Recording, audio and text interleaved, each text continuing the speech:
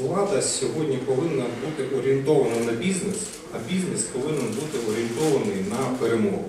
Тобто максимально долучатися по мірі своїх можливостей до волонтерських, до підтримки ЗСУ, тобто вкладати сили в нашу спільну перемогу.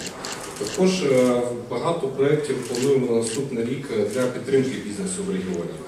Ну, головне, що як це можна так правильно сказати, щоб при інвестиціях е, був від цього економічний ефект, якщо ми кажемо про економіку. Е, Наразі почали активно е, співпрацювати вже з багатьма міжнародними компаніями, які готові виступити і по грантам, і по донорським проєктам в регіоні. Ну, я мабуть, вже більш детально будемо вже наступному на початку наступного року розповідати, ділитися, щоб ви також могли долучатися.